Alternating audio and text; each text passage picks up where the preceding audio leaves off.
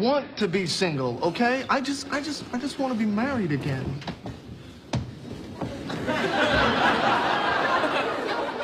And I just want a million dollars.